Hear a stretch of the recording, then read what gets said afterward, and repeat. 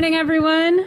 Um, thank you for being here. It's amazing to see you in person. Um, this is the first time since 2019 we've been back in this room. Uh, my name's Melissa Foley, and I'm the program manager for the Regional Monitoring Program for Water Quality in San Francisco Bay, also known as the RMP.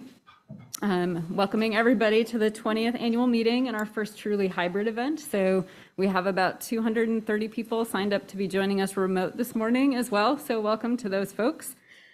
Um, so this morning, I want to start us off with a land acknowledgement that evolved out of the collaborative efforts of the original Native peoples of San Francisco Bay. Please consider that although this statement acknowledges the ancestral and unceded territories of the original Native peoples of the Bay Area, additional steps are required to move toward meaningful restorative justice.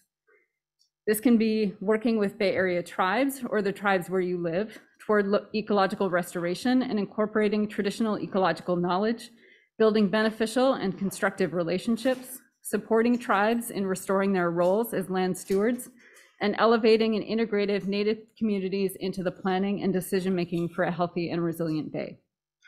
We acknowledge that we are on the ancestral territory of the native peoples of the San Francisco Bay, including the numerous villages and tribes of the Ohlone, Patwin, Coast Miwok, and Bay Miwok. We recognize that through a violent history of colonization and dispossession today as guests, we benefit from living and working on the traditional homeland of these native people. We wish to show our respect to them and their ancestors by acknowledging the injustices inherent to this history and by affirming their sovereign rights and their current efforts to achieve restorative justice. Consistent with our values of community, inclusion, and diversity, it is vitally important that we recognize the land on which we reside in unceded tribal territory and also acknowledge and support the Native people that continue to form a crucial part of the San Francisco area community. So just a couple of items. Uh, for Zoom, uh, folks there, please rename yourself and add your affiliation so that we know who's in the meeting. Uh, you can also set your view to active speaker during the presentations and gallery during the moderated session to get a better view of all the things that are happening. Uh, talks are being recorded and will be posted to the RMP website next week. Um, also, please use the chat function to submit questions for the Q&A and for moderated the moderated sessions.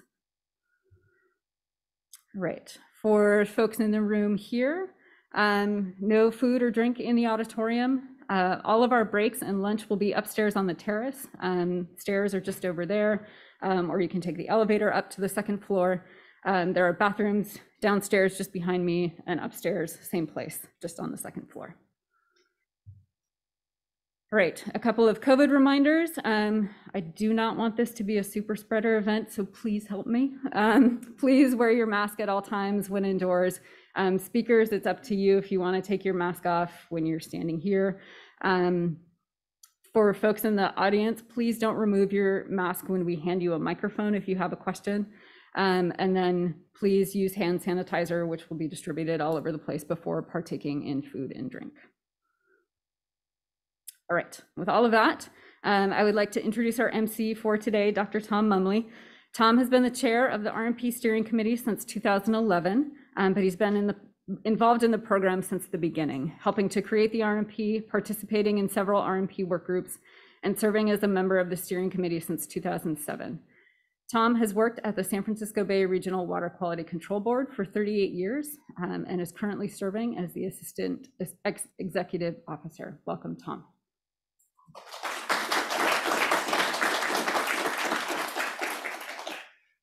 It's actually 39 now.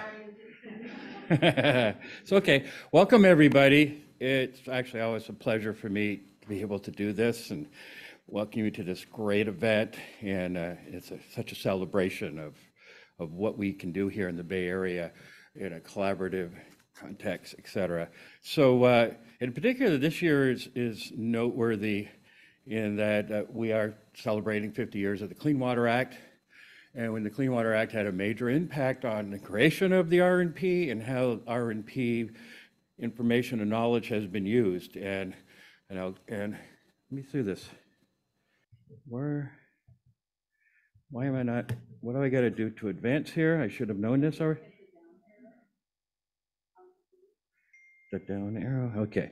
Yeah, so I want to call attention, we're on the cuffs. It actually has been posted on the website, the Pulse of the Bay this year, and we are focusing in on, reflecting on 50 years of the Clean Water Act. And I can tell you, there's some great perspectives written by uh, representatives of the RP community, uh, and we'll call more attention to who those people are in a bit. But also note that, as usual is the case, Jay Davis, who's sort of the lead author and the, and the editor of the of the Pulse, puts a great perspective into play in his overview. And uh, very noteworthy is that there's a before and after set of photographs that are really, really moving. So for those that, that it's up there now, it's the, it's called the last final version. There's still some final proofing before it gets locked in. So, um, but I want to start before we go to the program is just, just realizing this is, this is hardly strictly just a regional monitoring program. And as illustrated in, in Jay's article, article and the, and the perspectives, because it's, the RMP has been a, the, said this before, the, the catalyst of bringing this all together to help us coordinate, communicate, collaborate. So it's a, it's had a profound impact on the Bay Area. And, uh, but uh, in the con, but I also want to say though, this, this ain't no disco, this ain't no fooling around. But if you happen to have gone to HSB on Saturday, there was a band that had a song that had those words in it, but, but this is a party. And with that in mind, I want to explain what we're going to celebrate today.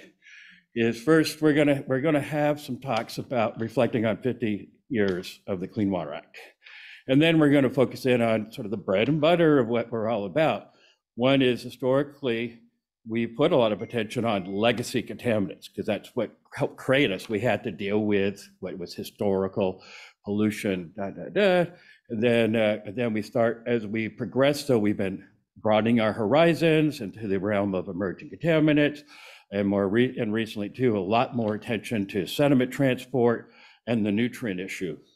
And we're going to actually get an interesting talk from Dave Senn about this recent event. And I know the, you know, I, we did some research too, by the way, to determine where did all that red come from? Because we were suspicious. Hmm, Stanford?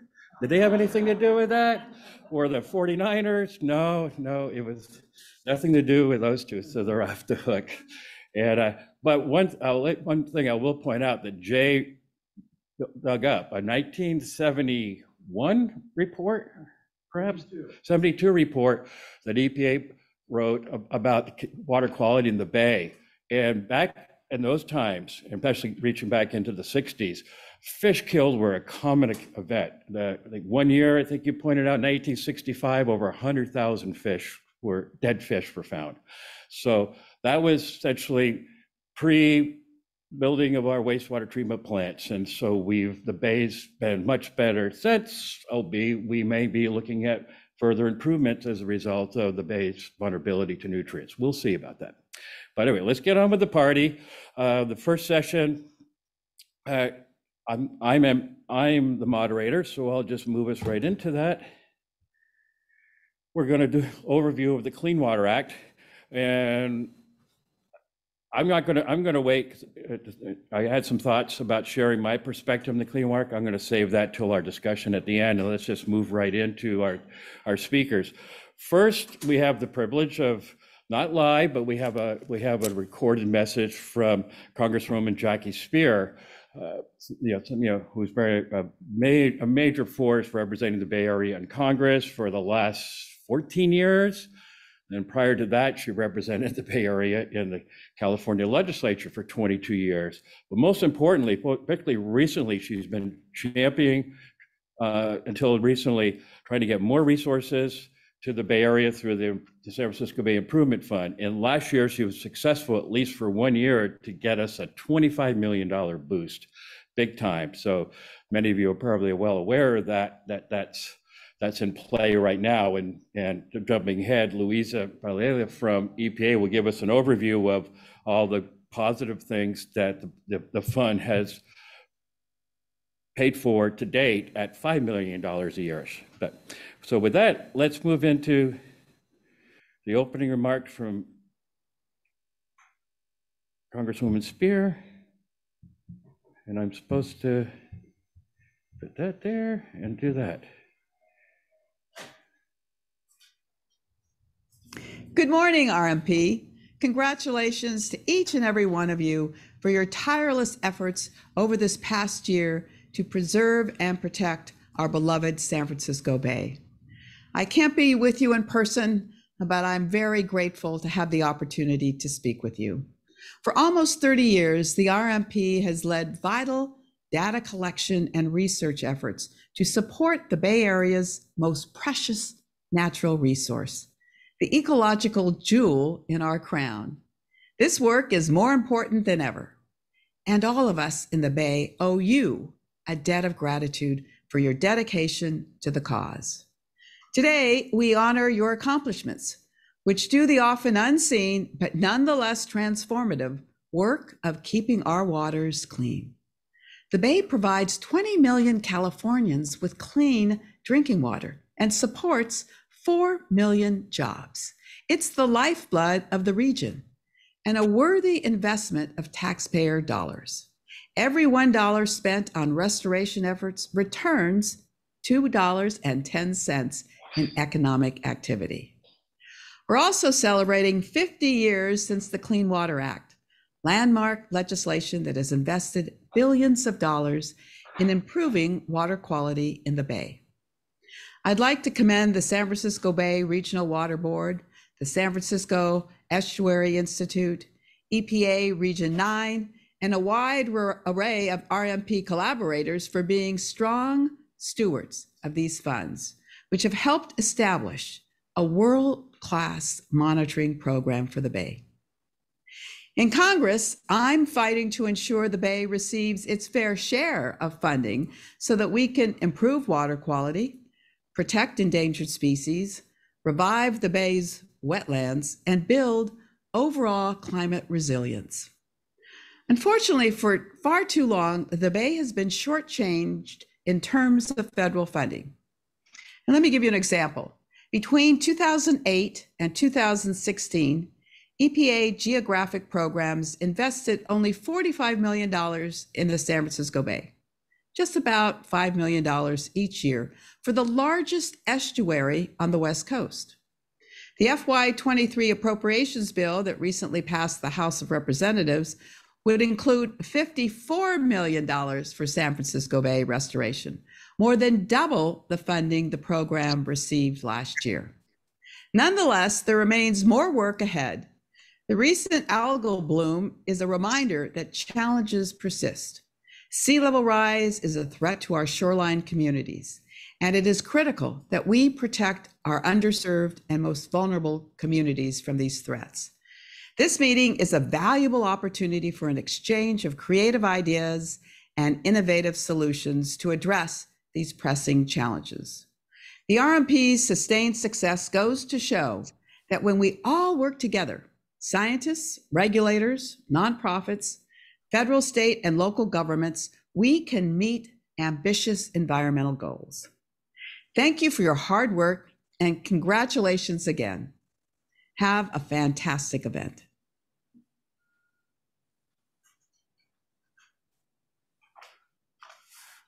All right, you heard what she said. We're going to have a fantastic event. Indeed. So, be my pleasure to introduce Dr. Andrew Gunther. Andy, I'm privileged to be able to consider Andy a friend. And uh, in fact, I first met Andy when he was the first scientist hired by the Aquatic Habitat Institute, the precursor to the San Francisco Estuary Institute. And uh, what probably was like in 87, I think, when, when you were working on the, the loadings to the Bay report and uh, come and tapped me at the water board for what I might have had some knowledge to share. But Andy's done a lot. He- For us, for the Bay, he was actually the lead scientist for the regional monitoring program at its onset in 1993 through 96-ish. He also served as an assistant uh, scientist, lead scientist for the following up on the, on the Exxon Valdez spill. And, uh, and I know he's been very passionate in the, in the area of climate change and leading efforts not limited to the Bay Area in, in that context. And also a, a longstanding champion of save the salmon, save the steelhead in, in the Bay region.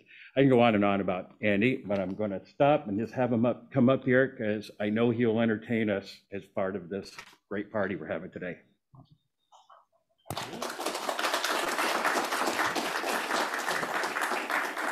Thanks, Tom. So I'm uh, using this lavalier mic so I can move around a little bit. For those of you on Zoom, if I disappear, don't worry, I'll be back. So I'm really excited to be able to share this perspective on the RMP that really comes from my 30 years of being involved with the program. I've always thought that to get a solid historical understanding of the foundation of the program, you have to start with the vegetable that was key to its founding. Now, most people don't realize that Brussels sprouts were actually a key to the founding of the RMP. Uh, but it wasn't in this form, but rather on the stock because this is the picture that Steve Ritchie used to explain the structure of the RMP to potential participants, with the stock being the status and trends program and the sprouts themselves being pilot. studies. At the 10th anniversary, Steve noted of the RMP, Steve noted that the water board went ahead and amended the basin plan to add toxic um, uh, standard toxic pollutant standards, even though there was basically no knowledge about these contaminants in the estuary. And so starting in the mid 1980s, uh, we had to set off to grow a program to get this information. And I'll be, but it really worked. The RMP has delivered essential knowledge to inform action and has provided, has built this culture of, built this culture of joint fact finding. And this has positioned us really well to address future challenges. I'm trying to, uh, we have the movement from keynote to PowerPoint, which always results in some strange things happening. So clearly, and my mother would be happy if I say this, never underestimate the power of Brussels sprouts, right? Or of committed leadership provided by Steve Ritchie, Tom Mumley, Bruce Thompson, Rainer Hoenicke, Jay Davis, and so many others who've been involved in the RMP. Mike Carlin, Susan Anderson, and you guys as well. Um, because there are a lot of ways this could have gone wrong, right? It didn't have to come out like this. We didn't even know how to take these measurements, nor how we would pay for them. But some clever legislative work generated the Bay, toxic, Bay Protection and Toxic Cleanup Program, which Region 2 then cleverly used to fund a pilot program to, to figure out how to design and what methods to use for the uh, long-term trace substances monitoring program. Key to this um, was the, uh, the work of these guys, Russ Flegal and Bob Risebrough, who developed and documented the methods to measure contaminants at parts per billion levels in the estuary. Russ's work, particularly on lead, was of international renown. He was an expert witness in all sorts of proceedings around leaded glassware. And, and in fact, in 10 minutes one day, Russ convinced me I should never drink a glass of wine out of a leaded wine glass. Um, and Bob was one of the leaders uh, in developing our conceptual understanding of DDT and thus other long-lived organic contaminants as well and how they can impact ecosystems far from their place of use. Um, when uh, you know, when we just got started with the DDT, right, this was our conceptual model. Uh, of DDT. Um, its wonders of its use around the home. Jay has, I love this slide. Jay gave it to me. Um, this article lauds DDT as the atomic bomb of insecticides. Uh, but Bob's work allowed us to conceptualize DDT's impacts a little differently by documenting how they biomagnify in the food web and result in the loss of piscivorous birds because of eggshell thinning. And this picture, actually, Bob is inspecting a pelican's nest on the coast of California in 1969. But the strength of the status and trends report, uh, a program, which is repeating the same high quality measurements over time, is not a strong incentive for academic investigators who seek to publish novel investigations and pioneer new methods. So to implement the RMP, we had to figure out how to make this a commercial venture. Um, and in the end, we were able to engage a team that combined university scientists, people in nonprofits, and those in the private sector.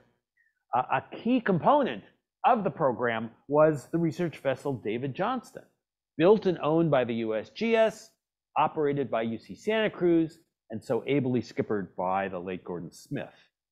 Uh, the DJ was particularly valuable because it had no keel and it had recessed screws, which allowed it to access very, very shallow sites, like in Guadalupe Slough and Coyote, uh, up Coyote Creek, and in Grizzly Bay and along the East Bay shoreline. But it also made for a rather wild ride when we would sample outside the Golden Gate. Um, which led to the nauseated demise of many visitors and graduate students who thought the best day to hitch a ride would be the day you go out under the Golden Gate. We were able to engage the academic lab laboratories because they started to use the cruises as ways to train um, their students. And we allowed the opportunity to gather some additional samples for use in other investigations. Then we also had to supply the sampling equipment, right? At this time, SFEI um, was, uh, uh, didn't have anything really to offer in terms of, of uh, capital equipment. And so this included a CTD, which Applied Marine Sciences purchased for the first year of the program. Now, this was a rather significant expense. And so I investigated insuring this purchase against accidental loss because I, if I remember correctly, the Flegal Lab had actually lost a CTD in Suisun Bay a couple years before. Um, this proved to be a rather challenging endeavor because my insurance agent asked me to explain, well, how do you use this thing? And I said, well, it's simple. I take it out of the boat, I tie a rope to it, I throw it over the edge of the boat, and it goes to the bottom of the bay, and then I haul it back up. Right, said my insurance agent as he politely declined the opportunity to insure this activity. So our insurance was the figure eight knot that Gordon Smith taught me how to tie. Um, and I practiced incessantly to make sure that we, we didn't lose the CTD in the bottom of the bay. While commercializing the program for long-term operations, it was also essential that we maintain the commitment to the highest quality science. And that's where all of your organizations came in, because this was a real strong commitment that our community had we weren't just going to check the boxes and say we sampled this one, we sampled this one, we sampled this one. We wanted to be confident of the facts because the whole point was to use this information to guide policy. A key component of this was a detailed quality assurance project plan, which we wrote and then had independently peer reviewed. And then we also made the time and resources available for the technical review committee, for other special work groups, um, and these are incredibly important investments made by the stakeholders of the region, right? There's the cash that they put up for the program, but the, the time, the labor that goes in to these, anyone who's ever developed a, a budget for a project knows that, that the labor costs add up very quickly. And this just represented, again, the commitment over time that this community has had to the program. Um, and then there were the outside independent reviews uh, of the program. Um, the first one in 1997, right, recommended that we kind of recast all the objectives of the program. And it was like, well, okay, you know, we, we took the review in and the revised program objectives were established in 1998. Um, and we kept thinking about the program strategically. meeting the program's objectives doesn't mean that you have to do the same thing every year. You know, in fact, you need to be open to well-considered changes. For example, when we started, we had three water cruises, three bioaccumulation cruises, and two sediment cruises. Um, this was a lot of work. It was a lot of money, and it was more information than we needed for, given the variability of what we were measuring in order to meet our objectives. So frequencies of sampling were reduced. If I've got it now, right now, it's water sampling only occurs like every two years, and sediment is every four years, and um, every five years. Okay. So, um, man, does the Van Veen grab get rusty? I don't know if it's like, man, we were always out there. Um, so, uh, but this then allowed, right, allowed uh, funds to be made available to other high priority information needs, but not to the point where the long-term data set was sacrificed. Um, similarly, we learned a lot about bioaccumulation of contaminants using transplanted bivalves, but we were really interested in the contaminant in the sport fish people were eating, and so sport fish monitoring was added to the program in 1997. And we could operate in this strategic manner because of the long-term funding commitments that were made to the program. We've kept our eye on that target. And again, it didn't have to be this way. Uh, I remember being admonished by a variety of people about how long-term programs have gone off track, either because the principal investigators were interested in other topics related that actually produced you know, things that you could publish more readily, or funders got interested in particular issues like the, the, the hotspots, delineating hotspots for contamination instead of tracking long-term contamination over time. And it's not that these aren't valid investigations to pursue, but we've had the discipline to persevere. And that discipline comes from having committed leadership. And this is something the RMP has had in spades. And, and I think it often gets overlooked. Uh, we had the California legislature adopt the Porter Cologne Act, uh, with, what, three years before the, um, this is the, the 53rd anniversary of the Porter Cologne Act. And then the leadership from the Water Board uh, to establish the program. And then we had scientific leadership, like these guys, from these guys, and also Jim Cloern, Sam Luoma, Larry Schemel, many other people have been involved in this. Their work on the Polaris um, and using other research techniques has created this extraordinary foundation of knowledge upon which our future work is able to stand. Here's a field science scene on board the Polaris that likely feels familiar to many here, although you note there are no computers, right? Sometimes the old-fashioned sampling methods were a bit unusual. we may now have computers, but there is no replacement has yet been developed for the willing graduate student. Those USGS scientists published this article. It was on the cover of Science Magazine in 1986, Modification of an Estuary. Um, and not only did they provide personal leadership, but USGS and other local scientists, government officials, and nonprofit leaders lent their support to the creation of the Aquatic Habitat Institute, which, as Tom noted, is now known as the San Francisco Estuary Institute. Um, and we should not forget how incredibly unique and valuable it is to have a scientific nonprofit dedicated understanding the estuary and committed to leading our joint fact-finding. Um, I'm also particularly attached to this decision because my first job out of graduate school was with the Aquatic Habitat Institute. So I think that was a great idea. Indeed, I really feel blessed to have had a front row seat to watch all this happen over the last 35 years. I've seen these scientists pass on their commitment to a new generation of scientists. Believe it or not, the beard in that picture is the same beard that's here right now. And I never considered at that time that I'd be some graybeard in the 2020s serving on the Regional Water Board. But as I have served in that capacity, I have see the influence of the RMP in almost everything we do, the permits we review, the entire approach our community takes to addressing our pollution problems. RMP data have helped establish background conditions used in NPDES permits, used for site-specific water quality objective development, resolving uncertainties in TMDLs, baseline data for nutrient analyses, and then the cutting-edge analytics with PBDEs and PFAS and bisphenols and bisphenols and microplastics and all sorts of other applications. I'm going to be looking forward to the RMP sediment, fate, and transport studies. That is going to greatly inform our work on habitat restoration and on building shoreline resilience to sea level rise in the coming years.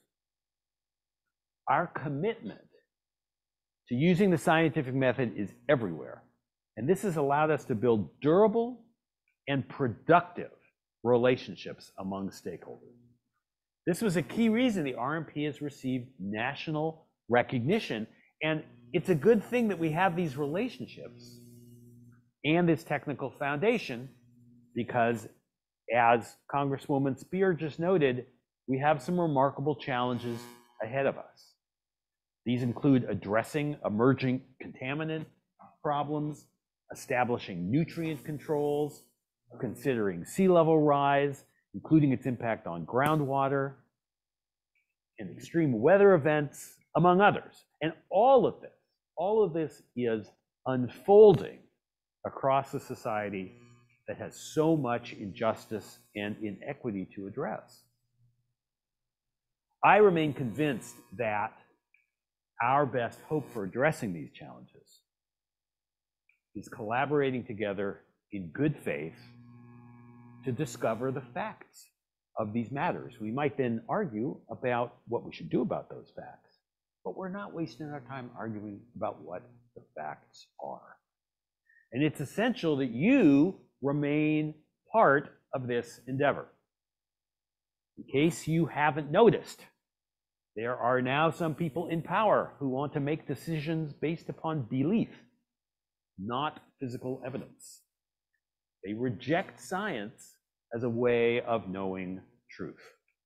We are now constantly bombarded with messages that encourage us to assume the worst about each other, to see the world as us and them, to assume that others are not working in good faith to address our joint problems.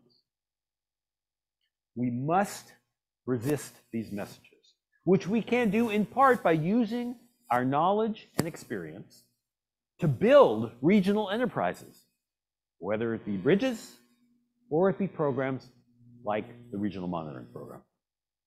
Climate change and all its consequent impacts to society are becoming ever more clear, and it is obvious, no matter what we do, that the second half of this century is going to be a very wild ride. By using evidence from observation and measurement to help establish policy, we have the best chance of making thoughtful decisions that will build a more resilient future for us all. Thanks so much for your attention.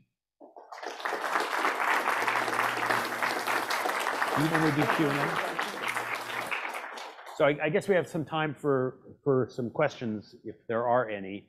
And, and somebody's looking online, I guess. Okay. All right. Well, we'll, uh, looks like we'll defer questions until lunch, huh? Well, we're gonna, Uh-oh, he, he, he's got a question. no, no, no, I mean, at the end of this, this session, we're gonna have an open dialogue that Andy will be a part of. So think about, like, do I have about the, the beginnings of the regional mining program? That old guys like me can tell you about. All right. Well, thank you.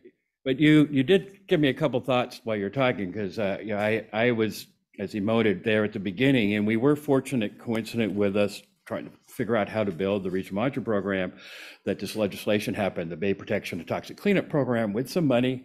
And we were, as a result of that, we were able to fund studies, but we're also able to hire a person to run that program for us at the Water Board, as well as serve as a key technical lead on regional monitoring program stuff, Karen Taberski. So that's one other name I wanted to mention. It was a key early player.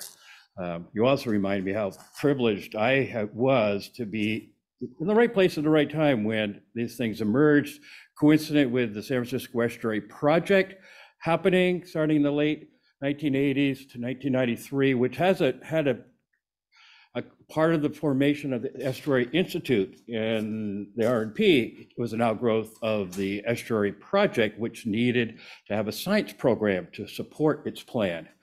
And as a result, though, of the construct of that, I first got to meet and start uh, making professional relationships with the scientists at USGS and other academia.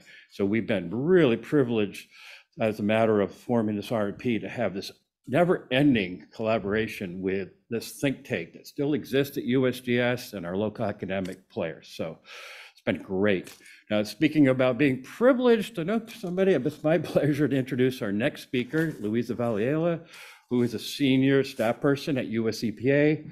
Coincidentally, her career there started in 1993, somewhat coincident with the, the actual formal formation of the regional monitoring program.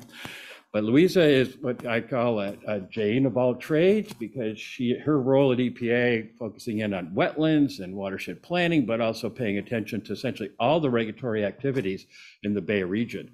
And she's been a great asset for us, bringing uh, EPA's assistance and, and perspective as part of our great family.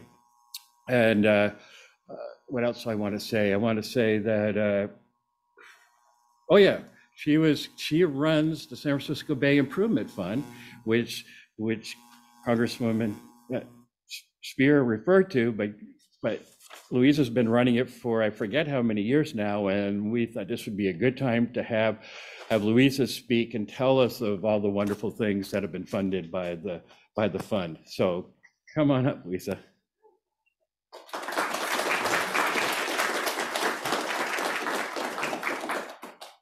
Thanks, Tom. Down arrow first. Awesome. All right.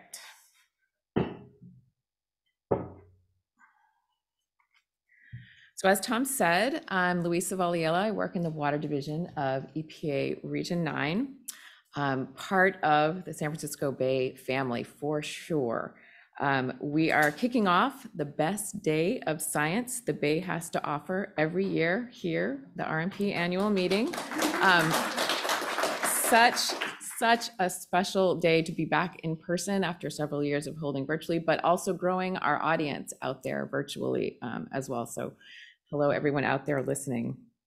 Um, so today has a special flavor. We have this incredible birthday cake to talk about of just being working in San Francisco Bay, talking about the Clean Water Act and the RMP.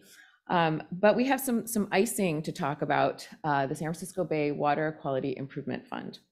Um, so this is the 50th anniversary of the Clean Water Act. I'm going to try and bring everything around to the Clean Water Act. Prize a special small token um, for anyone who wants to keep track of how many times I say Clean Water Act uh, in the course of this presentation. All right, now which arrow? Let's, oh, let's do this. All right, uh, when the Clean Water Act started, um, it was to bring a huge infusion of federal oversight as well as funding to solve water quality problems. Maybe Congress planned this all along, but some of the genius behind the Clean Water Act is really to invest in partnerships because the federal government wasn't going to be um, able, willing, able to be the sole source of billions of dollars needed to improve our both our waters and the infrastructure needed to ensure our waters in perpetuity. So here we have a, a map of the National Estuary Program areas. There are 28 of them. Um, one of them is our own San Francisco Estuary Partnership that's already been mentioned several times. Um, So this provides the foundation actually for our grant program. The Clean Water Act, Section 320 is the National Estuary Program. Um, And having it allows our San Francisco Bay Water Quality Improvement Fund, our competitive grant program, to have a funding mechanism to reach all of our, our partners who are doing work on the ground. So as Representative Jackie Speier also mentioned, the San Francisco Bay Water Quality Improvement Fund is actually also an EPA geographic program. Um, This is funding that is decided by Congress. Um, We, we learn every year what Congress has decided, and this is how it looks. Um, It's part of the EPA budget. It's the- called the Geographic Programs Table. We won't spend too much time on this slide because it engenders budget envy if you compare um, to some of the other geographic programs. But here we are, one of 10.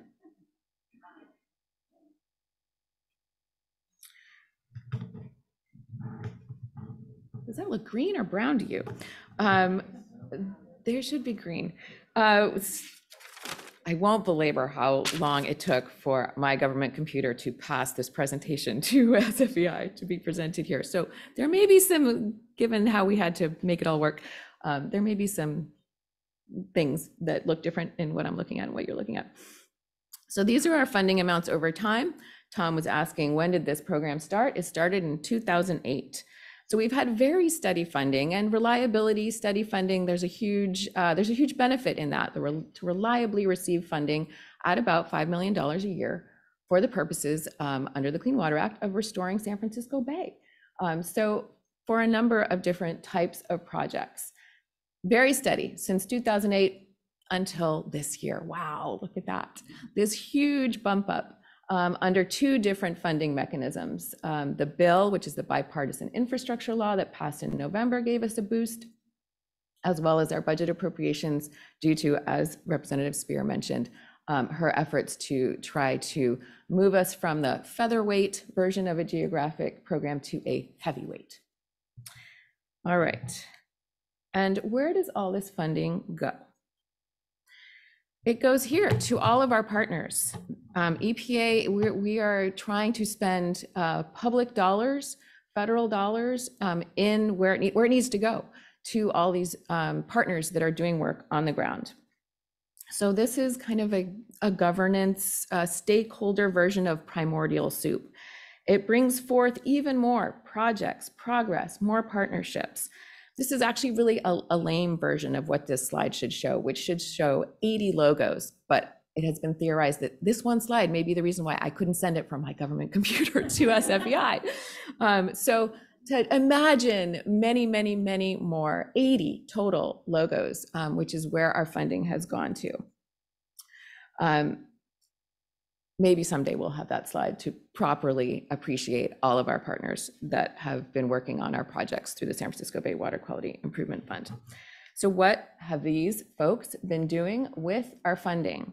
We tend to use these, these buckets of types of projects. So restoring water quality, restoring wetlands, and greening development, which is really our stormwater focused work. So we've had about 71 million total since 2008 going to these types of projects. Um, Another just way of looking at our totals. This is our investments across, geographically, across counties. Um, You'll note that actually the tallest bar is, says, if you can read it, uh, it says multi-county. And it's really a reflection, again, that this investment in partnerships, where we actually want to be funding work that benefits more than one project, more than one place. And so there has been an enormous amount of funding as well, going to projects like Sediment for Survival Report by SFEI, this current work that's going on right now with the city of San Pablo in Contra Costa County to do uh, stormwater trading, um, uh, build a stormwater trading program for, um, for our very difficult legacy pollutant issue.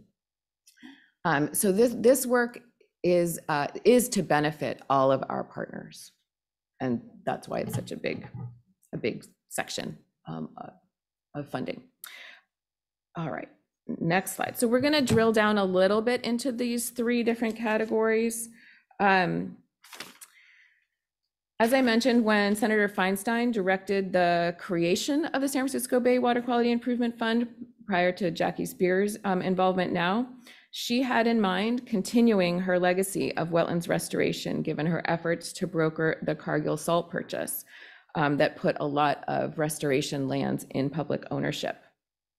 So a significant portion of our funding um, is to further the regional goal of 100,000 acres and uh, cement Senator Feinstein's legacy. Wetlands are, of course, waters of the US under the Clean Water Act, and they are regulated under Section 404 of the Clean Water Act.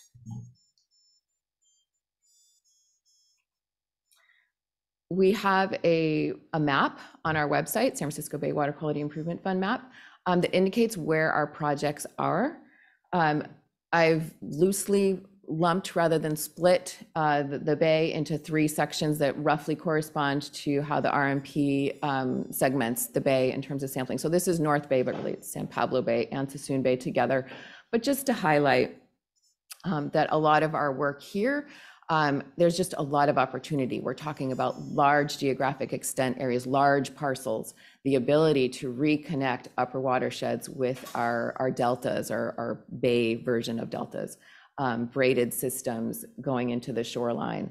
Um, this, this investment um, will certainly continue. Um, there is this large opportunity area around Suisun Bay, given that it is this the the, the place where delta interests and bay interests um, overlap um, very fortuitously. Our work with wetlands restoration in the Central Bay region have, has a slightly different flavor. Um, This, as you can see from the map, is where we have, you know, density of urban population. And so the, the aerial extent, our parcel size tend to be a lot smaller. And our challenges around, if we're going to restore wetlands, tend to be more complicated, usually because there is legacy contamination um, at these sites. And Karen Irwin, um, a colleague of mine at EPA, will be talking later about some work to really build shoreline resilience, but also do it responsibly, that, that we, that there are fund, there's funding brought to do appropriate cleanup of these sites. So uh, the, the South San Francisco little black flag there indicates work that we've helped uh, be a funding partner with San Francisco Rec and Park in cleaning up India Basin so that it can be both a public amenity and a restoration site. But that, as in many other places um, where humans have left their messy footprint, um, there, there has to be due diligence in cleaning up these sites, which adds cost to the restoration before it can be restored, which we absolutely still want to do. And then in the South Bay, again, we have this uh, luxury, essentially of very, very large parcel sizes um, because of the South Bay Salt Ponds, the purchase, and now the South Bay Salt Pond project um, that has us well on our way in terms of restoring large areas to tidal restoration and their own uh, monitoring ongoing, which um, has been so eye-opening and so um, uh, gratifying to see the response of the ecology, especially in fish populations, um, to see the fish assemblage return, just fish quantities. And now I think we will also learn how resilient they are if they get hit, for instance, by harmful, harmful algal bloom. Um, how quickly, this is not an area that was hit as hard, clearly, as Lake Merritt um, and some other kind of more enclosed areas. But still, we have plenty to learn about how fish populations respond after a bloom like that. Um, But again, a lot of funding going here to keep accelerating the, the rate of restoration, given the threats of sea level rise. Um, In total, 6,100 acres of, has been restored using our, our grant funds. Um, And, and we really, uh, our bottom line is wetlands restoration is, is the no regrets action related to responding to the threats of sea level rise and, and climate change. So uh, we absolutely should be doing it um, as often and as much as possible. Um, So moving into uh, restoring water quality, um, there is a seemingly never-ending list of pollutants. Um, We're fortunate to have the RMP um, and this investment in regional science that guides both EPAs and our project partners um, in, in knowing where the best bang for the buck is in terms of restoring the bay and its watersheds. Um, We're going to hear a lot more about the issue with legacy pollutants and PCBs, certainly been an emphasis of the RMP and of our grant program as well. Um, Requirements under the stormwater permit make it a top priority for our cities that are under the permit um, to, to address PCBs. We have, again, the messy footprint of humans um, really changed our creeks and rivers in our urbanized areas. So we have a lot of incising, we have a lot of eroding banks, we have no floodplains, we have creeks that, where you can stand, where you think you're on the cliffs of Dover. Um, And, you know, this is everywhere you look um, in the Bay Area. So a lot of work also on trying to do a better job uh, restoring floodplains and reducing uh, excess sediment so that we can restore fisheries. Um, And then we have the very sad but true uh, reflection of our own economy, that we have this divide, this economic divide, leaving many, many people um, unhoused. And they are often forced to, uh, forced and choose to live in our creeks um, and and rivers. And that results in uh, a huge load of trash um, that, again, our cities are, are desperately trying to keep up with. Um, So our funding has also gone to a variety of different cities who are really trying to tackle this very uh, hard uh, human problem, which generates a pollutant, trash. I'll underscore uh, that we have spent um, with our partners funding to help support the communication of the risks around eating bay caught fish. The the San Francisco Bay does have a fish consumption advisory based on legacy cont- contaminants like PCBs and mercury. Um, It is very important, as the Clean Water Act wanted the bay to be fishable and swimmable, um, that, that the fishable aspect of it uh, is something that we have to continue to be vigilant on, communicate on, um, because this is a, this is a, a long-lived problem, but that's what legacy contaminants mean. Um, And we, don't have any ready fixes. Uh, So we will continue um, to work with our communities, our, most uh, vulnerable communities around uh, the fishing community, around communication about the fish consumption advisory. So our last bucket, this green stormwater infrastructure, how do we, how do we do a better job in our Bay Area, our highly urbanized setting of the Bay Area with treating our stormwater? Um, The Clean Water Act got point sources under control, um, but there, the result actually is that a lot of the pollutants that reach our, our receiving water bodies, our bays, our creeks, um, come through the stormwater system.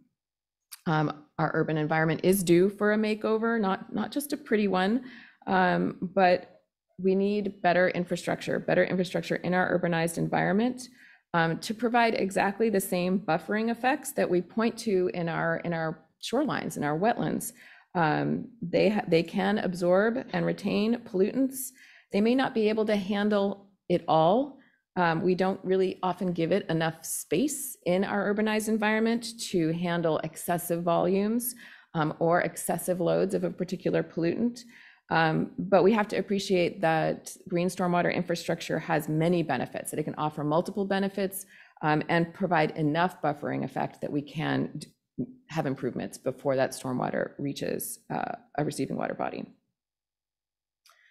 We also um, are working with, with SFEI and San Francisco PUC um, on some really excellent and exciting modeling work, but modeling based on, you know, current, our current understanding of our urban setting. Um, What a particular block in San Francisco, this is actually work that's being do- done on Upper Islais Creek.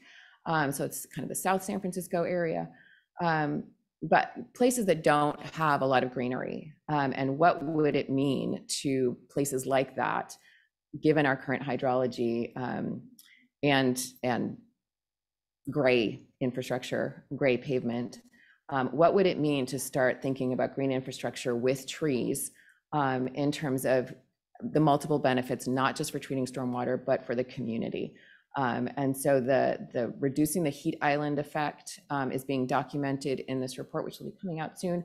Um, I specifically asked for permission to show these um, graphics, which may be also why this presentation didn't send very easily. These are like, there's a lot of,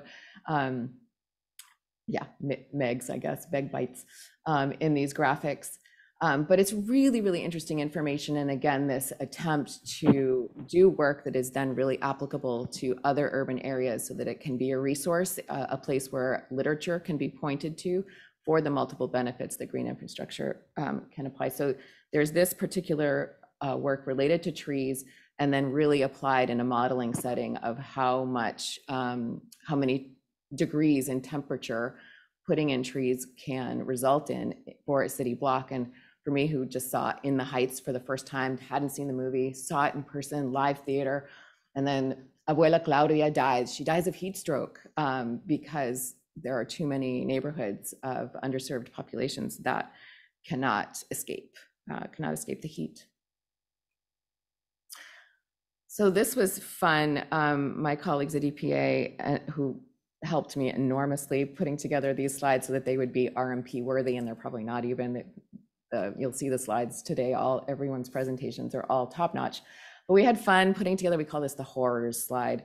Um, the the what what are we really facing? Um, is the San Francisco Bay Water Quality Improvement Fund ready to continue to be a source of funding to help all of our partners really address the challenges of climate change? So our our fire seasons that we have now, the King Tides event that have been warning us for many many years now, you know what sea level rise will bring and sadly, this this very recent harmful algal bloom that brought fish kills um, that we certainly hope um, are not a frequent recurrence.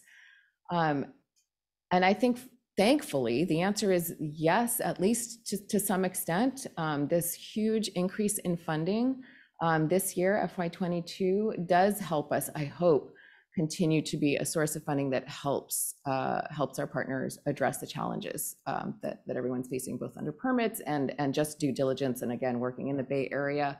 Everyone wants to be an, an early adopter early actor um, a very progressive community uh, really trying to not shy away from facing the facts. Um, and especially in the underserved communities um, arena that specifically with the bill funding, the Biden administration made it quite clear that a lot of these funds are intended to build resiliency in underserved communities.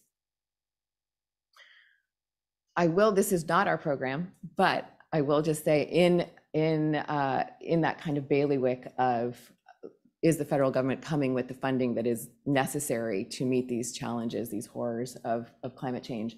Um, we also have the Clean Water SRF program, which has also received an enormous bump up in funding. Um, so I didn't want to miss the opportunity to share that information. These are not my slides. I borrowed it from those who usually make Clean Water SRF presentations. Um, so this is federal funding that, that goes through the state um, through this loan program, but there's been a lot of other features built into the loan program to allow loan forgiveness, to allow grants. Um, to really get our aging infrastructure, stormwater and wastewater treatment plant infrastructure um, up, uh, you know, up to speed, replaced, uh, improved. Um, and this funding will continue to be available for definitely the next five years. Um, so there is time to really plan and access it as soon as possible. Um, and in particular, there is this $7 million um, carve out in California specifically for combined sewer overflows, as well as stormwater um, infrastructure improvements. So with that, I thank you very much uh, for being here. Thank you, RMP. And if you have any questions on the San Francisco Bay Water Quality Improvement Act, that's my contact information. Thanks.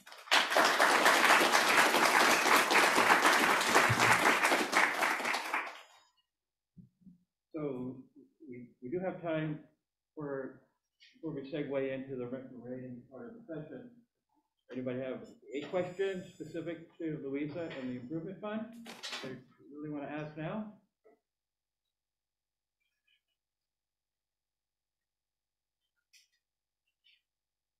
Going what? Going what? All right, so, uh. Am I sitting down? Uh, Hi, Chris.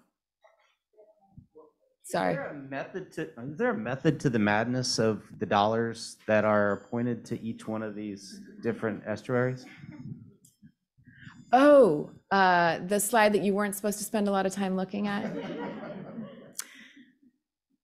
Maybe I didn't make the, make the point, um, because I s- rushing through my notes. It, they did, the differences in amount have, to- they're political decisions. They all reflect political interest. Uh, A a particular congressman or senator that made those programs happen. That is the method to the madness. There is no other. You could have just said politics.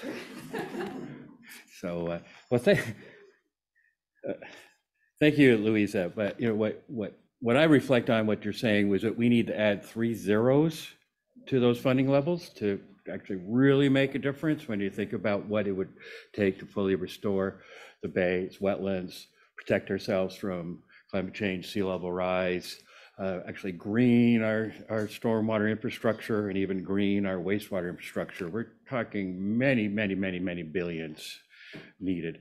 And consider the fact that the, the gross domestic product of the Bay Area is, is greater than half a trillion dollars a year. You would think that we'd have ability to get more public-private relationships as well as more influx of state and- and federal dollars back to this economic machine that the Bay Area is all about and this wonderful bay that we all love. So we're all, we're hopeful. You know, we've, we've, we've seen, we've made, we've gotten so much done. Uh, So the next, the remaining part of this session is, uh, is sort of, ins- it's inspired by 50 years of the Clean Water Act. And uh, as I noted earlier, I think, when in the Pulse, there are a number of, of players who have, have had past current role in, in water quality in the Bay Area who've written perspectives on the Clean Water Act and how it relates to things. And so, some, so I'm going to, going to call attention to who they are and then ultimately call our panel together. But that's the, and if any of you are here in the audience, because I wasn't paying attention to who's here, raise your hand so people know that. But one perspective came from Alexis Strauss Hacker, currently a, a board member, but many of you know, long-term um, leader, manager at US EPA. Great perspective by Alexis. I don't think she can make it today. Uh, I. I, Richard Looker, know, key staff who works with us at the Water Board in, May. We co-authored one, and Richard, I believe, is not here, but he's participating remotely from Germany, where he's uh, visiting his wife's family. So I think he's online, and he could actually probably ask a question or correct me if I say something wrong. Let's see. Uh, we also have oh, Chris Sommers. I know is here. Who, who, who wrote a perspective representing municipal stormwater. We also had uh, one written by Tessa Beach from the Army Corps. We also had one written by John Coleman from Bay Planning Coalition, co-authored with Bridget DeShields, who represents industrial interest. She actually is the chair of the Technical Review Committee. Brid- Bridget is here. Thank you. And uh, Ian Wren wrote one uh, representing the uh, San Francisco Baykeeper. Oh, yeah, yeah, yeah, I thought you were here. Oops, I didn't see you, but I thought you were here.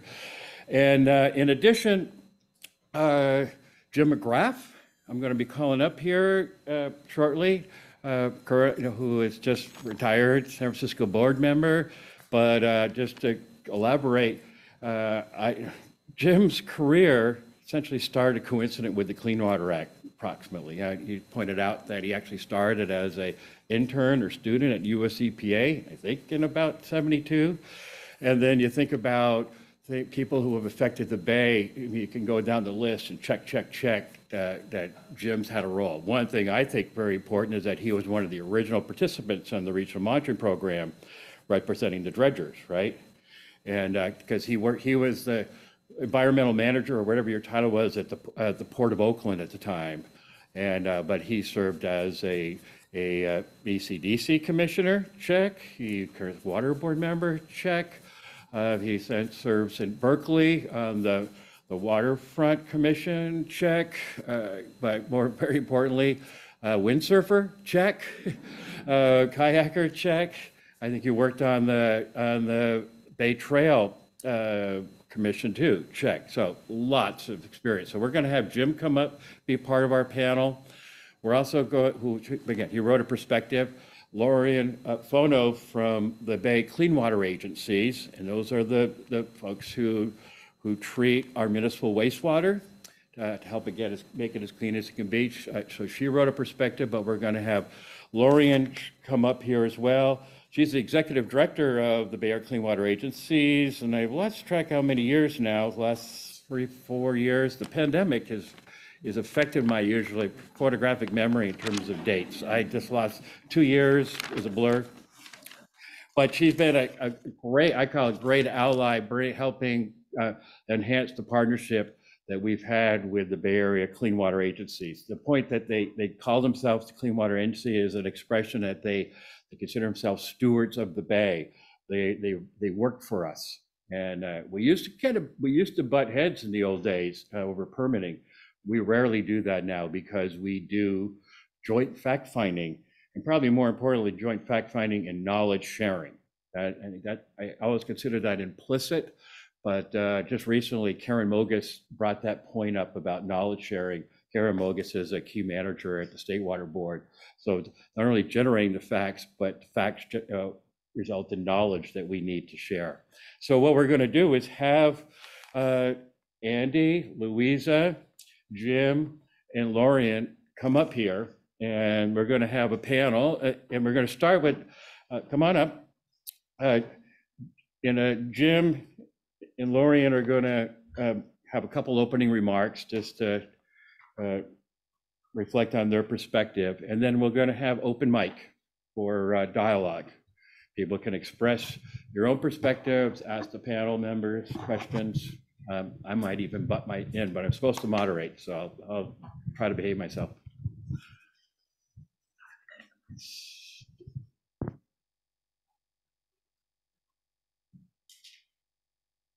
Go for it, Jim. Good morning. Um, This is, this is, as Luisa said, one of the best. It's not,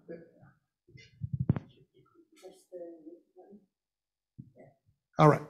Um, As, as Luisa said, this is one of the best days for science geeks and, and that's at all imaginable. I guess I'm the symbol for 50 years. Uh, I started working at, for EPA as a Cal Junior, work study program. It was either that or drive a truck. I guess I got lucky. Um, I've seen a lot and, and played a lot of roles. Uh, One of the things that Andy uh, said reminded me of some of the people uh, whose shoulders that, that we stand on. Uh, The picture of Russ Flegal got to me. He was one of the uh, people that sent a letter to the governor when I was first appointed, and one of those that I'm proudest of, of supporting me for appointment. Um, then there was the picture of Fred Nichols as a young man. Fred was, of course, the chair of the, uh, the, the Aquatic Habitat Institute Board. Uh, But remember Phyllis Faber, who started the Marin Agricultural Land Trust and one of my mentors on wetland restoration, and then Sylvia McLaughlin, who became a friend. Um, So I don't really have anything to add about water quality. You've got lots of people here who know more about it than, than I do. Um, I'm way past the angst of handing off things that I used to do to people who were younger and better at it than I am. Um, You know, when you first do that, it's a little jarring. But I do want to talk about political organization and how we sustain the effort. And um, so I think there's two really important ways that we gather support. One is that we make an emotional connection to what it is that we're protecting. For me, it was the Wheeling shorebirds that flash in a wetland. It was just something that reached inside of me. Currently now, it's, it's the rafts of a dozen or more um, brown pelicans back from the brink of extinction. Those things that emotionally connect you to what you're, you're protecting and how you get that across to other people. Of course, I do it on my house with a big picture uh, mural of, a, of both a salmon and a, uh, and a great egret. The next piece for, for political organization is the social connections um, and reaching out and realizing that there are recreational communities out there, there are bicyclists, water sport people, bird watchers. All of those have their own emotional connection to the waterfront and see it as a park. And organizing those are important for what we really have to do. We need to have resilient shorelines that have the values that we trust, not big seawalls.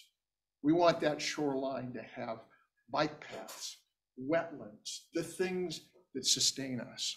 And to do that, we're going to have to have a connection to those people. So that's, that's the big picture that I try to orient you to. Um, I'm going to continue working on those things, trying to make sure that we organize the support of those communities.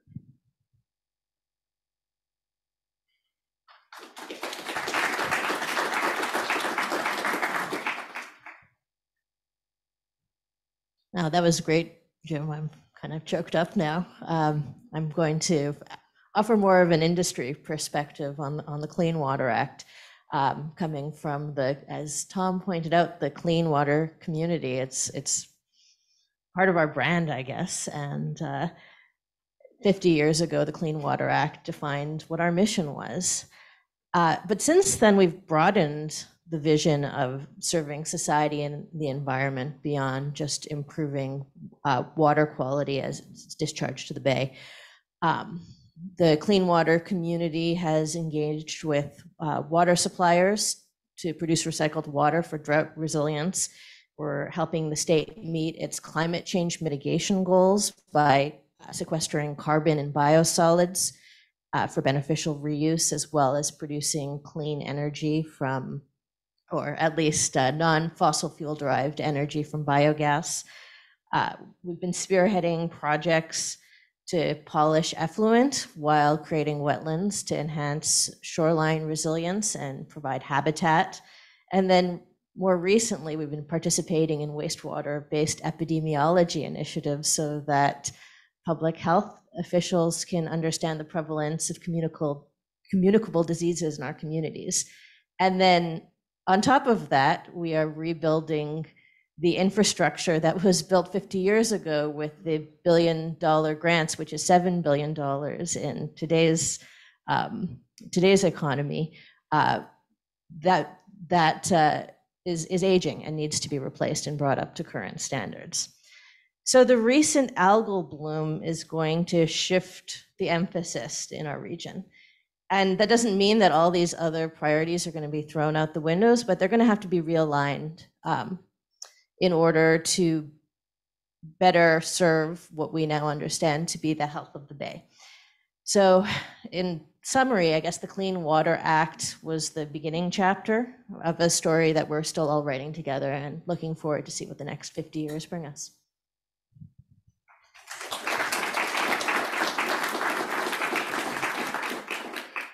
Super. All right. Somebody's got a question? Somebody got a point to make? Uh, Any, uh, we can get the, get this party rolling here, baby. Uh, If you do want to have a question, I, please, just tell us who you are, just so, you know, we get, we all, we might all want to get to know each other as part of this, this gathering. Yes?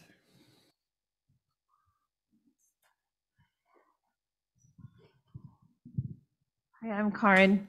This is on. Okay, Karin, North of the City of Palo Alto. I just want to see um, how we're 50 years in, how the next 50 years are going, as we have got to pivot and make our wastewater as a resource. And then how are we going to handle the reverse osmosis concentrate that's going to ultimately end up in the bay? I'd like to hear all of your different perspectives on that.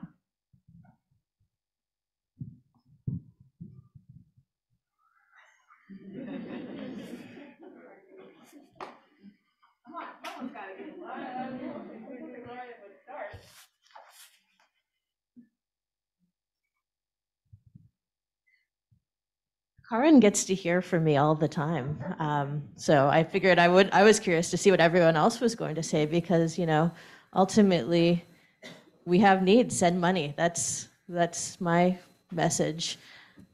Um, all of these problems are solvable with investments. So how can we rally the political support to get those investments and, and not have these initiatives funded on the backs of rate payers, many of whom are very well-to-do and can afford it, but many whom are already straining at the limits of affordability. And that's the sort of, uh, you know, poison pill of California um, infrastructure is that agencies aren't able to take, um, do means testing when setting rates. So being able to access grants and, and low-cost loans is, is key to more equitably moving forward these priorities. Yeah, Go ahead. I'll offer a couple of comments just on the first one. I don't know what we're going to do with the concentrate. Um, You know, it's your problem. But, but uh, more seriously, uh, when I've been on the regional board for about two years, I realized that the only solution for the, the very difficult problem of urban slobber, the runoff, was multi-purpose reconstruction of our infrastructure. And we're engaged in that. Um, The challenge is often it needs to cross municipal boundaries because it works on a watershed. And that's very difficult for our cities who are, tend to be overstrapped. And, uh, and it needs to be well-planned and multi, multi-purpose.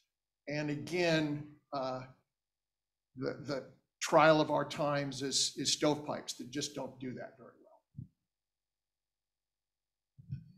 Yeah, so I, I, the, it's obvious that the things that we considered as waste products in past decades, we're going to realize our resources. Um, The water that comes out of our sewage, uh, wastewater treatment plants is one.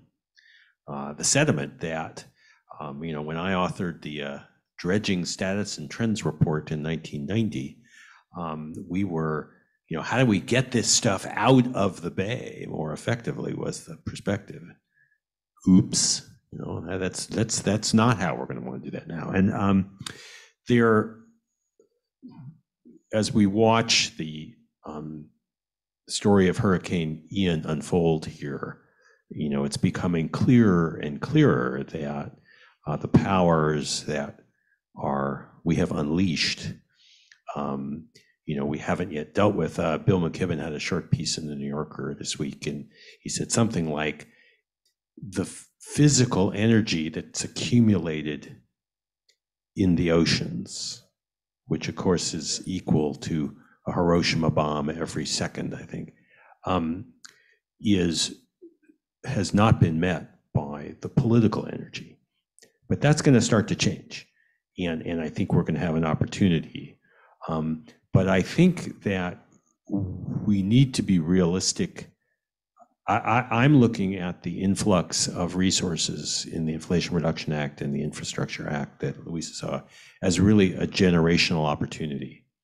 Um, I, I don't think it's going to be there all the time, um, even though the problem is that big.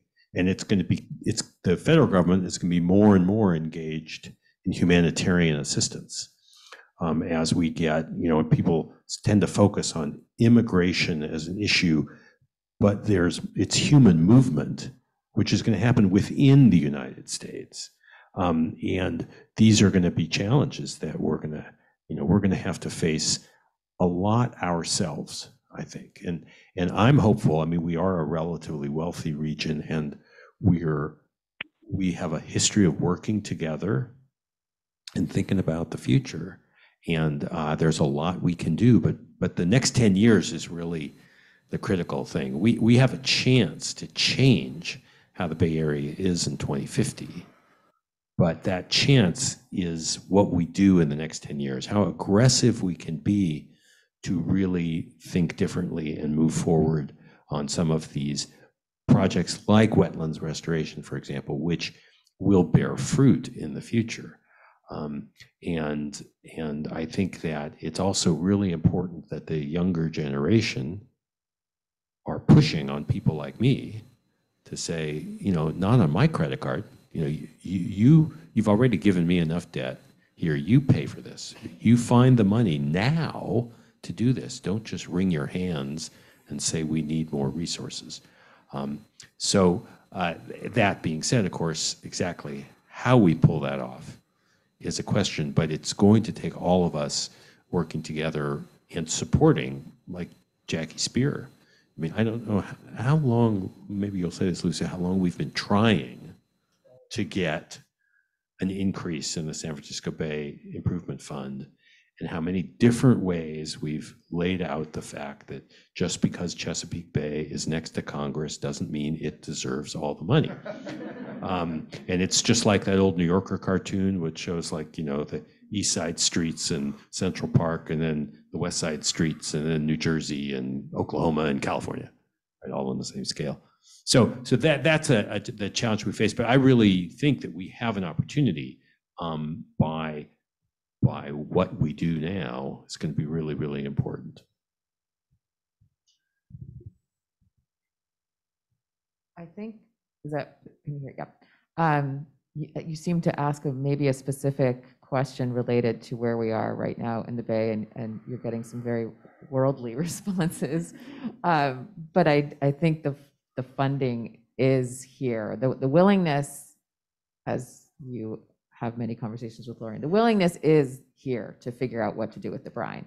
Um, we, and now we have additional funding that can kind of help us hopefully nail it in the next five years, you know, really, really get an answer to that question. There's, there's a commitment, I think at all levels, federal, state, and local regulated community to get an answer to that question. Because I think your premise is absolutely right. We're all bought into, there are, no we can't afford to have waste anymore. Everything is a resource. We just have to figure out how to use it, whether it's stormwater, wastewater, sediment, absolutely. Yeah, those aren't wastes. I'm going to take my moderator hat on, put my participant hat on and, and throw a couple thoughts at you. Uh, think about, think of the concept of Bay Area One Water. That's the future.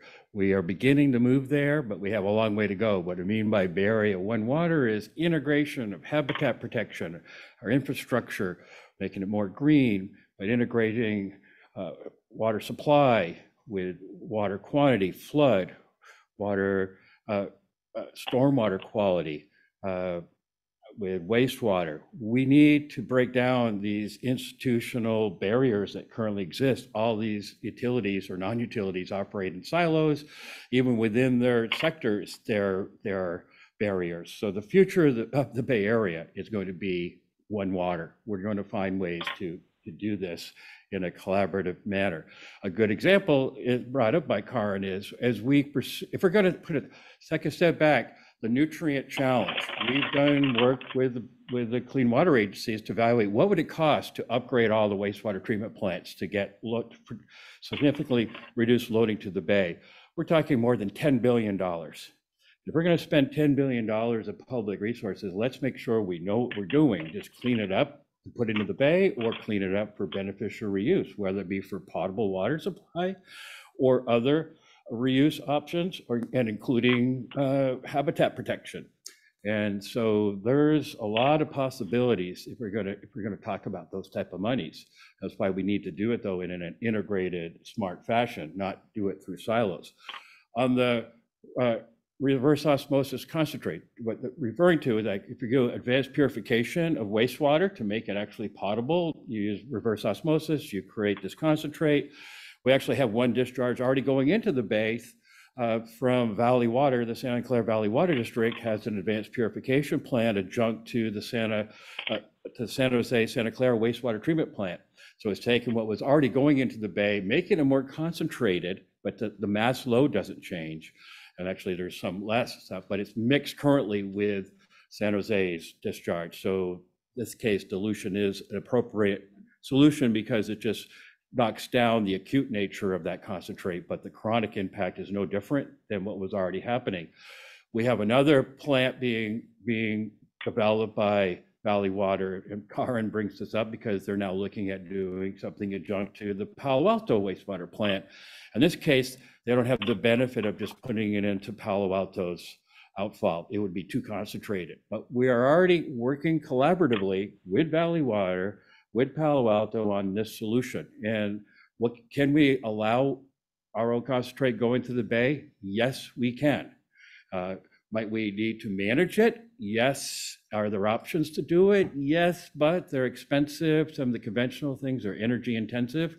What's very promising is uh, it's nature-based. We're actually doing pilot work as we, right now, we're looking at the effectiveness of putting RO concentrate in a horizontal levee using the, the living laboratory at Oro Loma, looking very promising that we could integrate that. Look at that win-win-win uh, if we can, if we can really realize that. So, yeah, that's the benefit we have in the Bay Area is these, these prob, we have problem-solving capability because we work together. But we have to be better at it in this big picture, one water arena. Ian, is that, Hi, thanks. Ian Wren from Baykeeper. Um, I just wanted to, I think one of the critiques of the RMP has been that it's been very effective at identifying problems and tracking trends that haven't really improved a whole lot um, over time. Um, but I was hoping that our esteemed panelists could talk about some of the wins that we have seen and how the lessons learned from that to improve conditions going forward.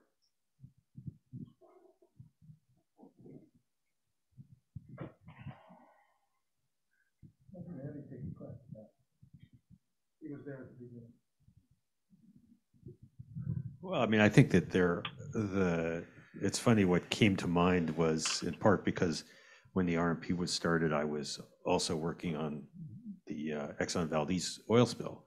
And um, the way, th- our ability to think through the um, analyte list and understand what we needed to measure and what we didn't. We were, we were measuring alkanes um, uh, in the water and the sediment and the bivalves at one point. You know, they don't really bioaccumulate. So, okay, so we cross those off. But we also realized the point of having the alkane measurements in the sediment was to have the background in case there was an oil spill. Um, and so once we got that, we stopped. And we put that money to other uses. And I think that there is, um, there are, that is a kind of, of success that, that is brought through, you know, thinking the way we've thought about it. The other is, that comes to mind too, is our ability to measure copper concentrations in the water in the bay, and to use that to drive a program that both reduced copper discharge to the bay, but also, if I'm remembering right, Tom said a site-specific water quality objective. Um, And again, understanding too, for nickel too, as well, that the, the background concentration in the estuary was a little higher. And so, so those are some examples that come to mind. Maybe there are others here. Jim, you must have some. Well, I, I know that, that sediment's near and dear to Ian as it is to me. And, and so I want to talk a little bit about not the regional monitoring strictly, but, but the relationships and the building of trust. When I started working for the Port of Oakland, uh, I worked with Laurel Marcus on trying to get dredge material in uh, Sonoma Hey. Baylands. And I had the good fortune of kayaking there with one of my board members, now a Habitat for Endangered Species. Hmm. One of the continuing concerns was the quality of the sediment. And there was a huge amount of distrust around that. Uh, I remember uh, being on radio shows with opponents of taking dredge material to uh, Montezuma Slough because of the contaminants. The contaminants, the contaminant levels were well below that on the surface of the Suisun Marsh. They were clean enough all to go to the ocean, making sure that material was reused for habitat restoration rather than just taking the ocean to the ocean was a strong, that's why my hair is all white now. But Um, I think it but sounds like that's no longer midday. an issue. BCDC has changed its regulations to allow in-bay disposal. There's Yeah. conventional wisdom for what uh, came out of, of people like, uh, uh, you know, the, the USGS crew, that we need sediment in the bay, and we can put it in the bay with acceptable levels as long as we do it carefully. So, you know, to me, that's a great success, is realizing that we have a resource. Sure. And just to, to finish with that in my like, yeah, there's, roots there's a half a sesame and uh, one. It was full Phil one, Woods, think, 50 years ago, that told me everything applied in the right level is useful. It's a, it's a good thing to think about and a perspective to have. Phil's passed. I, th- I think I heard in code, your question was, how many times did the Clean Water Act work? Um, Like, how, what's the list? What's the list of pollutants that we can now check off the list um, versus not? And I, I'm, off the top of my head, not going to be able to list all those pollutants, but we could, and I'm sure Jay could. But I, I think, uh, to be fair, I think as we've learned what the Clean Water Act can and can't do, um, is that it didn't envision combinations and accumulation and, and the effects that, that multiple pollutants can have. It's not really structured to work that way. If we were all clean for a day, I think that, that we could improve the Clean Water Act. Um, but that's, that is up to Congress. Um, so, you know, and, and then there are the issue of the, of legacy contaminants and uh, again, plug for Jay's talk. Um, it's a conundrum. It's a conundrum when you have a, a, a long-lived pollutant um, that is happily hunkered down in our sediments um, and and has effects, uh, both PCBs and mercury. So so it, it's fair to say it maybe not really the Clean Water Act's fault. It's you know we create these pollutants and we have to do a better job when we're creating compounds to understand what they're going to do in the environment.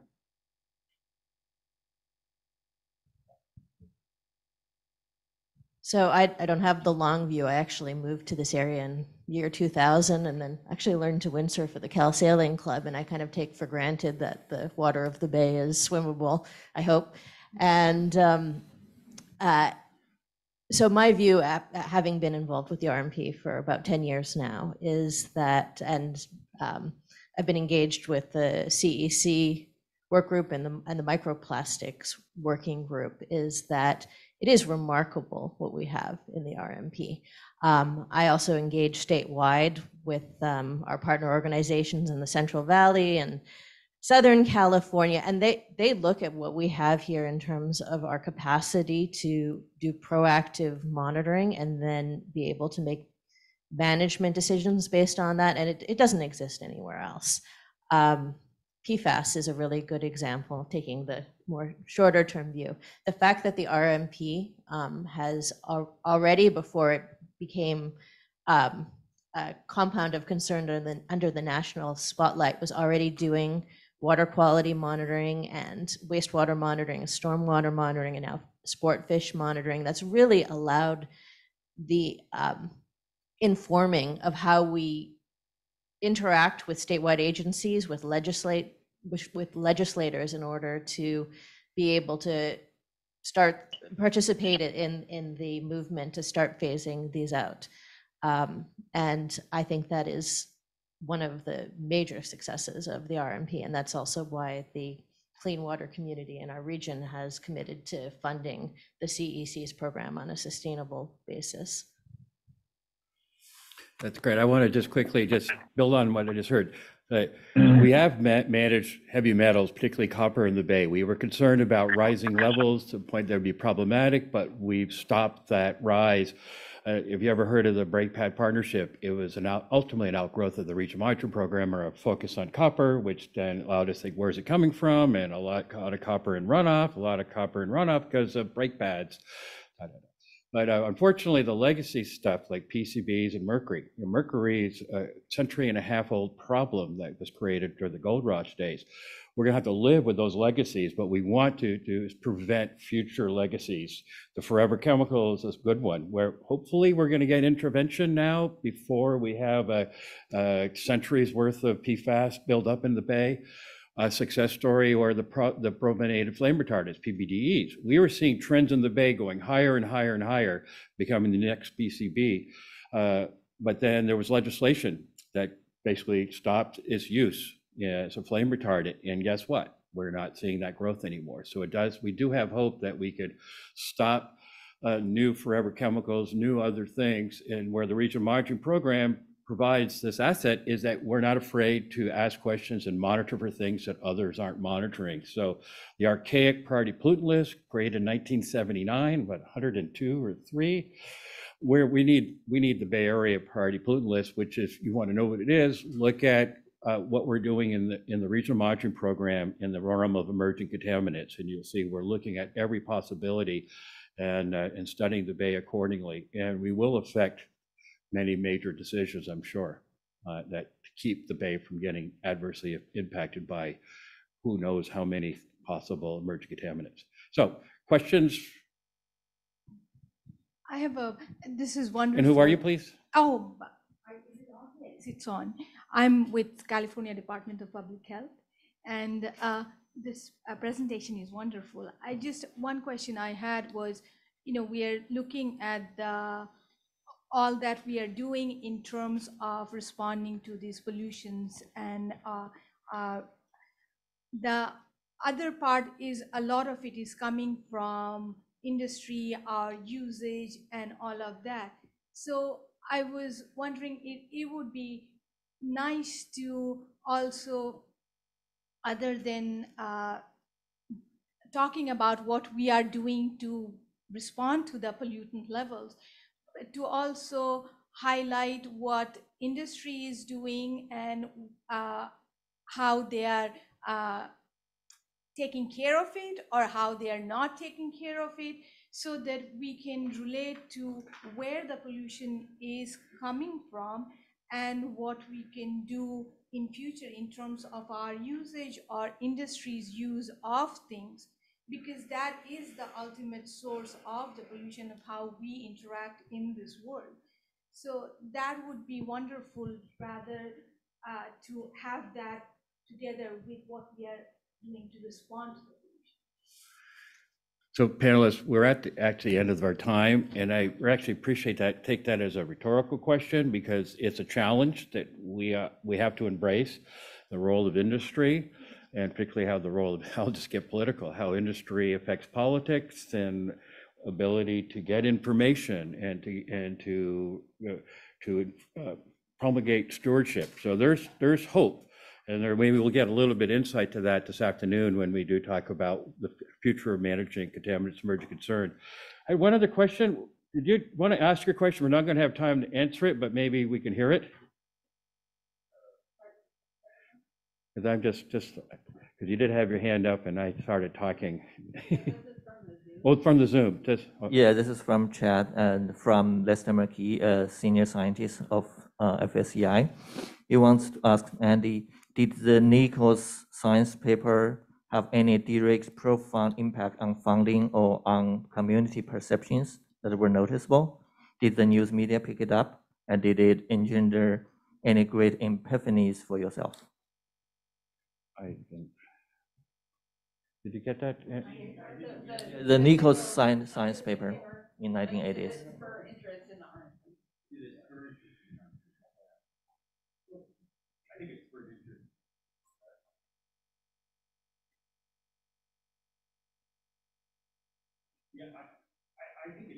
Just in the concept of San Francisco Bay as an ecosystem, um, and not just as the endpoint of the wastewater treatment system. Uh, and I mean, I, I- you guys may have had this experience. I've had this experience of people saying to me when I say that I've you know worked on San Francisco Bay, oh, there are fish in the bay. Uh, uh, they, people have a very, um, a lot of people have a very disconnected view.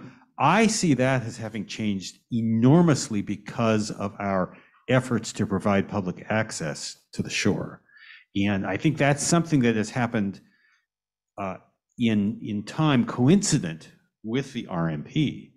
Uh, And we actually added the Bay Trail as a indicator of ecological health of the estuary just because of that, because because we saw stewardship as part of that. And, and I really see that as an indicator that we have really changed things. And now that I sit on the BCDC commission as well, it's astonishing to me every time we have to consider a permit for a development that, you know, the Bay Trail, it's like goes without, no one has to be reminded that if you're going to work in the BCDC zone, you need to make sure the Bay Trail exists from one side to the other of your property, right? And, and I think that those kind of, of changes were, you know, I don't know, I can't say how much that paper actually, um, you know, specifically contributed to it, but I do think it increased the visibility of the estuary. And, and the paper really goes through, you know, particularly Fred's work on introduced species and showed that even though it's an estuary, it's not what it was, and it's not, it's been modified, and it's never going to be unmodified. Um, And I also think, just as one, if I could just say one more background piece here to our conversation, is that I see us facing challenges in the next 10 years because our laws were developed under a concept that we could just take action to bring the problems back towards the historic target that we wanted to, to, to emulate. But, you know, that's no longer the case, right? So the system is in motion. Um, and in motion at a very high speed relative to how it's moved in the past. And we're going to face decisions, like water board members, will face decisions about one problem versus another problem. So there's some contaminants in the sediment, but man, we sure need this wetland over here, and we need to put this stuff in there. And um, there's an endangered species, but is that endangered species habitat going away over the next 10 years? So, okay. Anyways, there you go. Just Yeah. food to food for thought. Yeah, I could go on too. But it's, we're, we're we're into the break. That was probably good and, you know, get more public awareness debate, you know, for the future. So we're at, we're actually eight into our break time. So, but let's, we had 20 minutes scheduled. We ate, took a five minutes, so we should still try to come back on time, right, Melissa? So we're back here at 10:55. Upstairs, out in the patio, there's refreshments. So let's engage, but uh, we're going to force you to come back.